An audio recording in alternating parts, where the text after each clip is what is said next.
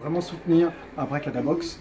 C'est euh, juste pour que les gamins puissent mettre un vrai coup de pied à leur maladie. Voilà, et que la, la vie soit un petit peu meilleure. À vous de jouer.